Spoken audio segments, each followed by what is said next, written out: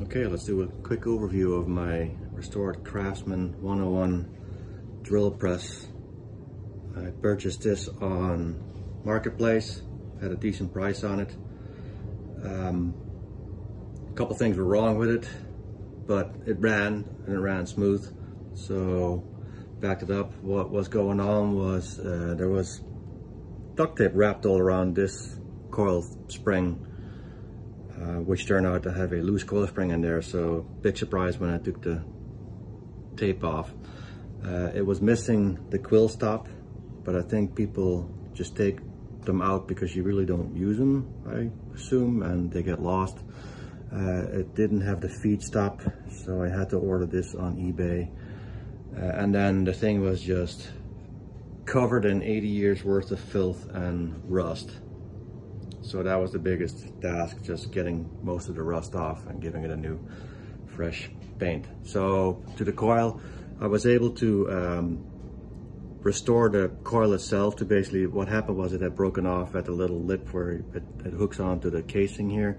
I was able to hammer on a new lip and then uh, rewind the coil, which was an interesting process, very scary. Uh, ordered the new quill stop on eBay as well as the uh, feed stop and it had a bracket but the bracket was for the, the 15 engine later model. And so I was missing the bracket and they're hard to find so I designed one in Fusion 360 and 3D printed it along with the bolts because these bolts are uh, like an Acme 11 threads per inch which is kind of odd.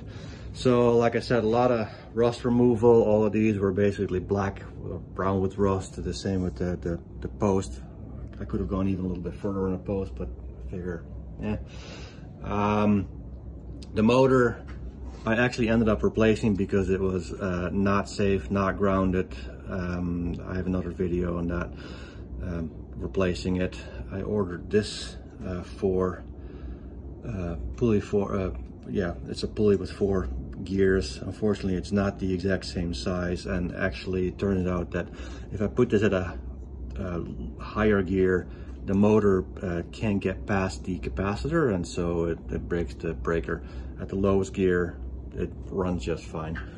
Um, the other thing that I had to fix was the actual quill. Um, the gear that was hitting the quill was actually uh, kind of blocking every 360 degrees so that told me that there was something wrong with the gear and I had to kind of file off the gear because I think in the last 80 years something must like really whacked like give a kickback at the at the quill and must have like bent one of the teeth on the gear. Um, but beyond that yeah fresh little paint um, took away all the rust. Uh, I have no equipment to fix you know this year but that's okay but, uh, and then I uh, added the kickstand or like a kick switch. And so, let me move that away. So, yeah, she's good to go again.